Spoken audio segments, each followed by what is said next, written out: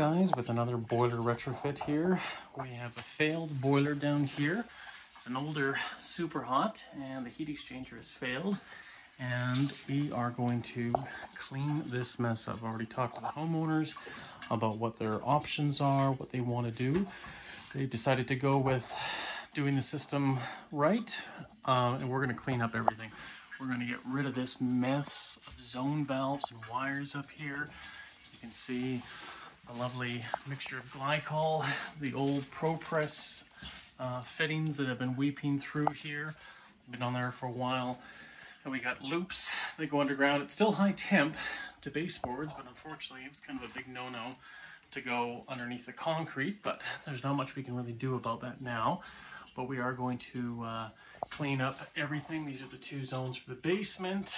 Wires are a mess, just everything. We're gonna make this thing look so much, so much better in the end. Um, we're gonna remove this combustion air. We're gonna remove this existing hot water tank. And we're gonna put in a Navien NFC combo. We're gonna put plywood on the back wall there. And we're gonna clean everything up and hopefully in about a week's time or so, we'll be up in business again. Plan is to do the venting through the roof if we can. And uh, we'll see how it all turns out. So, see you guys in a few.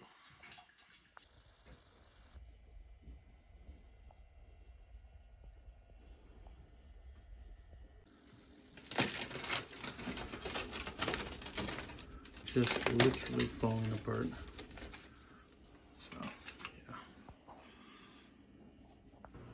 And we're back, guys, two weeks later or thereabout, and we are done. Thankfully, we did not need to use the heating portion. We were able to give them domestic hot water in the meantime by uh, putting the hot water tank right here, which we removed today. And we finished up the venting through the uh, existing chimney, which is where the hot water tank was vented. And then we cleaned up the water lines, which was attached to the hot water tank. And we just rubbed gas from the bottom of this uh, to feed the tank in the interim. But we are complete and it does look a lot better. Um, from the start, basically what we did was we uh, used about three sheets of plywood, painted, spray painted them black, and that was the key. If you roll black paint, it doesn't get into the grooves of the plywood. So uh, it was actually quicker to spray paint three sheets, and then we did a did an extra sheet over here on this side as well, just to kind of make sure we have a solid backing, and for an overall presentation. Now, one key thing here is uh, we had zones that were upstairs and we cleaned up a lot of the piping. And then of course we had zones downstairs in the basement. And sadly, these go through the concrete, but like I say, there's nothing we can do about it. Should never have been done, but obviously these feed a few zones in the basement. So we uh, cleaned it up, did a true reverse return, and you can see here, we've labeled the zones one, two, three, and so on up to six. And then these are uh, correspondingly one, two, three, all the way down to six. And here we did the zone val legend. So we got downstairs bedroom, rec room, garage, master bedroom, media room, and dining room. So this will be helpful. Whoever works on this next, hopefully it's from our company, um, it'll make servicing a dream. Give it a nice clean look. We ran the thermostat wires, or sort of the zone valve wires, um, the yellow motor wires and the red end switch wires to this terminal block right here. And then we put them behind the wall and fed them over into this uh, Tekmar controller, which actually has a six zone relay. And we got all the, uh, the wires here for everything. And gave it a nice clean look. The only thing that's not really clean is this pump wire that we could have gone into the wall and up, but I figured what's the point? And this is our main circulator. This zone controller, when there's a call for heat, it will send power to this system pump or secondary pump and it will activate. Now you can see pressure's a bit high right now just because we've been purging some air out of it. Um, but obviously we have a delta P here of about 5 PSI. And it's just nice, quick, tells me if this pump's working or not. Good for diagnosing. Put in a Caleffi micro bubble resorber or air scoop however you want to classify it. They have about a dozen names for these.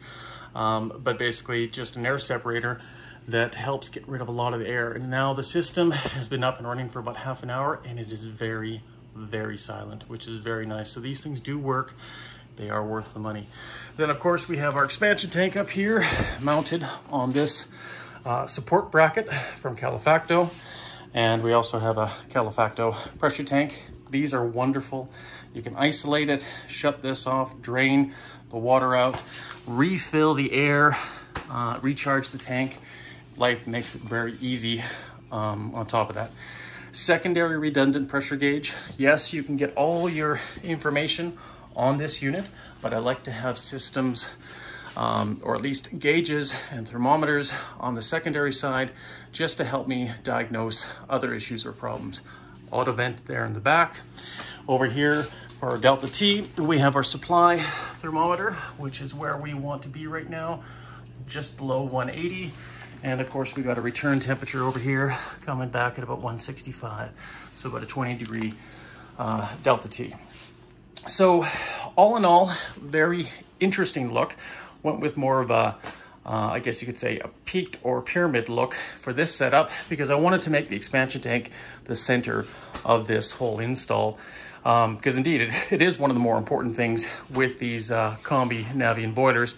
Without expansion, you'll have your relief valve, which will come off and discharge, and that's why we have that bucket down there.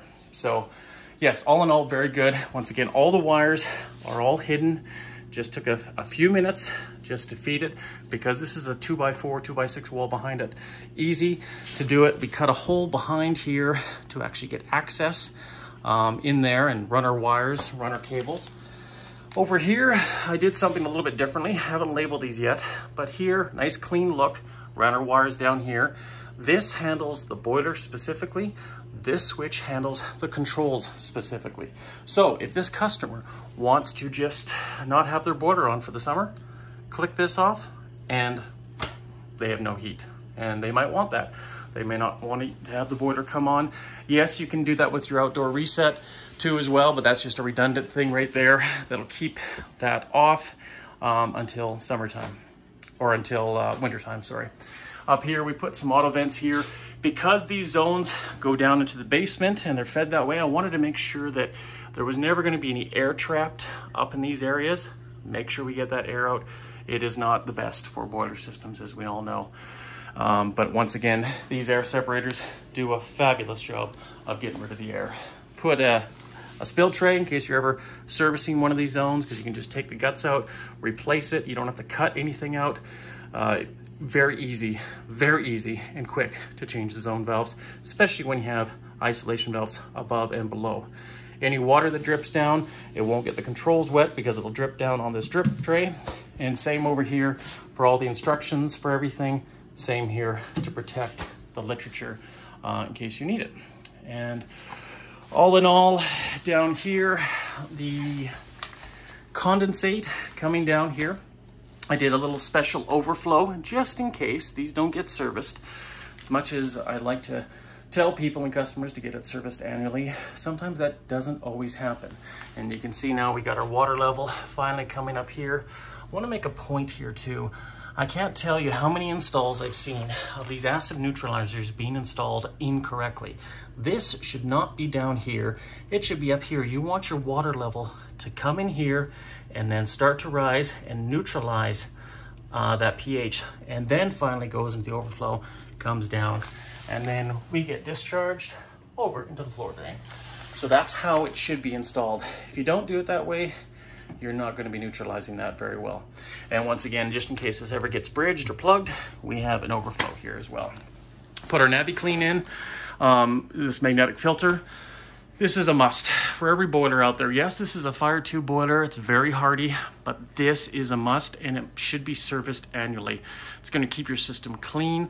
I was just here with the homeowner a few minutes ago and we were actually flushing the system and that's why I put these valves up here because you can actually isolate this and isolate this, the supply and the return, and literally open one zone or the second or the third and put fresh water from the hot water tank into here, or from the on-demand rather, and then your discharge goes over to the sink and you can flush each zone very quickly.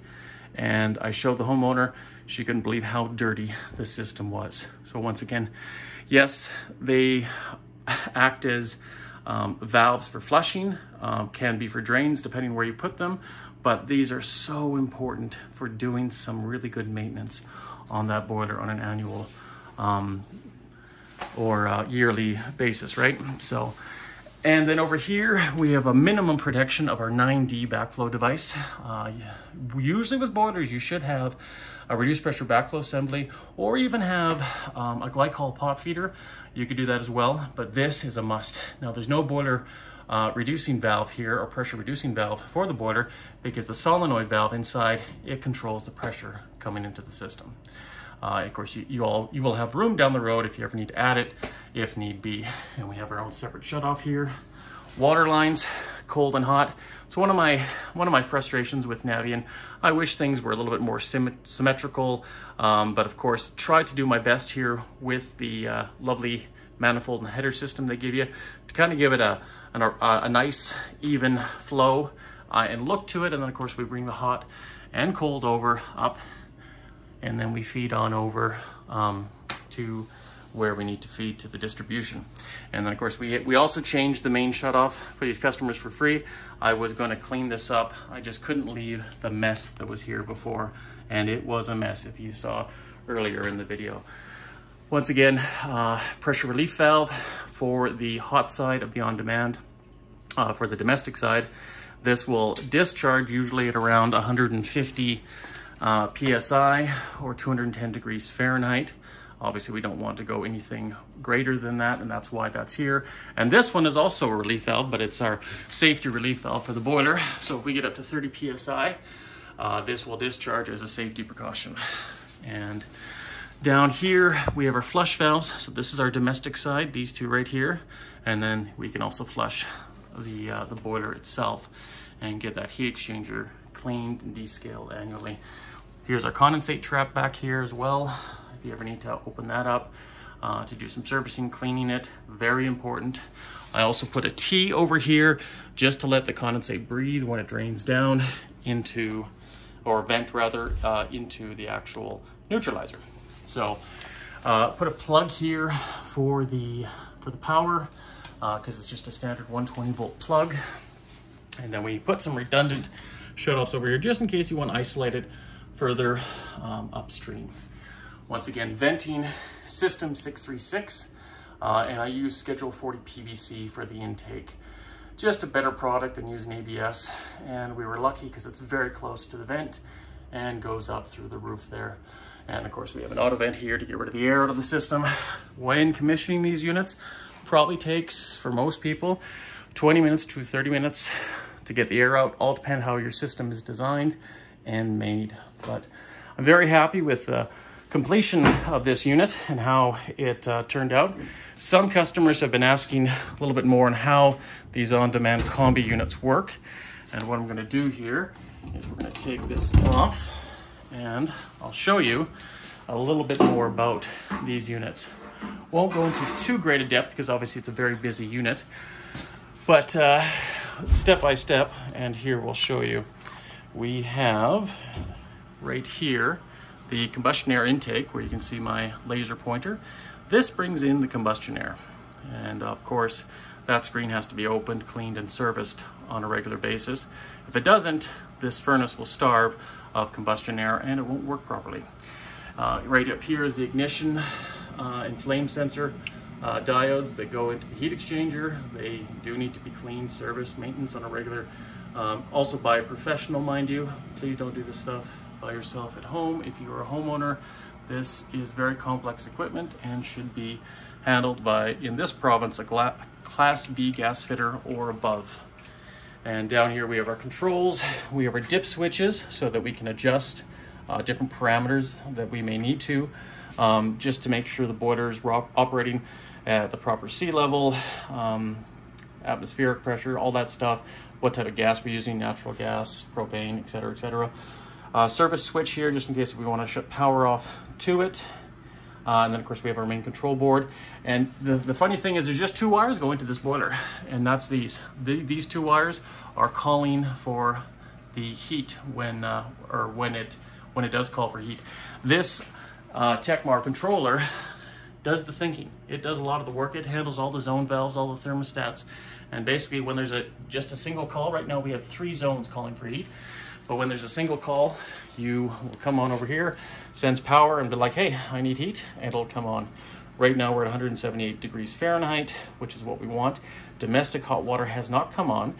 When there is a call for domestic hot water, and we are to open up this tap, let's say over here, this domestic hot water um, will kick up to high fire, or the boiler will kick up to high fire, and uh, and we'll uh, switch from central heating to domestic hot water. Uh, and then once the domestic hot water call is satisfied, it goes back to central heating. And uh, what else do we have here? This is basically our inducer fan that basically pulls um, our gases out of the heat exchanger and up in through and up out into our exhaust and away it goes here. Rating plate as well. If you're looking for the model number and serial number, it's also on the side of this particular unit. Down here, just go over some brief things. This is the boiler feed line, and of course, this is our solenoid valve that opens and closes and regulates the pressure into the system itself. Here's our plate heat exchanger in the back, um, right there, and that where is where the transfer of domestic hot water uh, happens from the from the heating side to, of course, the hot water side. Uh, one thing about the Naviens, they are constantly innovating. Uh, there's a few things, as I've said before, that I'm not a huge fan of Navien, but like I said, they are getting better. But they're making it easier now for you to get to a lot of these control uh, valves, um, three-way valves. This right here, obviously, has the uh, um, transfers the heat either from here or to the domestic hot water right there, but it's easier to get at than somewhere far back behind where you don't know where it is. It, like right here, this, so this right here is our primary pump, and you can see this primary pump, um, you'll have to take off this to get at it, but once again, you can get at the unions if you have to replace it. And this is what I call a primary secondary system. You have a primary pump that circulates through this loop, and then you have a secondary system that circulates through this. Um, and that is the best way to do hydronics. A lot of people sometimes just put this boiler in and run off your boiler pump and your boiler will be probably dead in about a year, if not sooner. And I've seen it happen time and time again. Uh, once again, when you're doing, or if you're looking at getting a boiler quote, if you go cheap, you will get what you pay for. And more often than not, if you spend a little bit more money, once again, you will get what you pay for. I have seen it time and time again. The lowest price gets the job. And usually we're not the contractor that does the work, but we will be getting the phone call a few years later to come back and fix it. So sometimes people, when you're doing this and you're investigating and trying to understand whether you want to spend a lot of money on your boiler system, definitely do your research and definitely look at your contractor, whoever that may be, um, because cheapness or a, a cheaper value is not necessarily a good value. Uh, once again, here we have the gas valve up here. Um, like I say, it's a very complex machine, and without going into great detail and taking things apart, we can't see all of the uh, all of the things. But once again, uh, the, you know, it just it makes um, it makes life a lot easier when you have something in such a small, compact unit. And Navien is very good with her warranties. It's one thing I'm actually very happy with, as opposed to some of the other brands out there where I've had a lot of frustration on getting parts. Uh, right here, this is our domestic cold inlet. This filter right here uh, should be pulled out and serviced because obviously if this plugs up, we're not going to get enough water flow across the heat exchanger and we won't get the gallons per minute uh, for the faucets or tubs or um, domestic hot water that we'll be using on the outlet here. We have our small sensor probe there for the temperature for the domestic hot water um, and so on and so forth. But yeah, little brief little summary of this unit. Looks very complex, but makes a lot of sense when you look at this um, in, a, in, a, in a greater context. But guys, this is it. We are done. We are complete with this install. Hopefully you enjoyed this video. Like, subscribe, comment, share, And uh, the next boiler on demand system, I have a little surprise for you. So definitely keep your eyes open for that one. Take care, stay classy. James from Canuck Mechanical, signing out.